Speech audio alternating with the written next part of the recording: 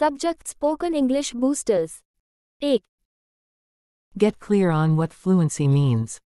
2. Immerse yourself in English every day. 3. Accept that English grammar has a lot of exceptions. 4. Use mirroring to answer English questions. 5. Focus on whole phrases instead of single words. 6.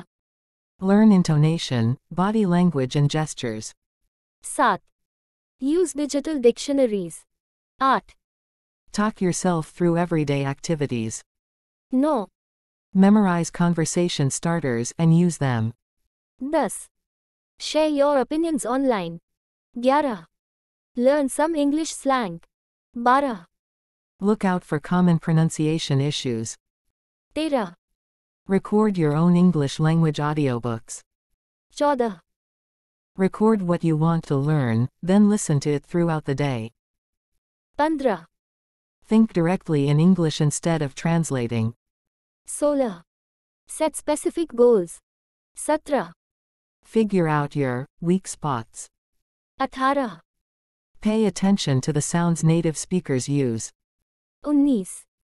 Don't be afraid to make mistakes while talking. 20. Record your mistakes. 21. Review and test yourself often. 22.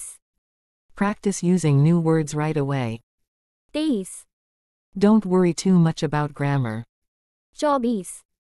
Get comfortable first with the English words you know. 25. Learn from everyone who speaks English. Coaching 639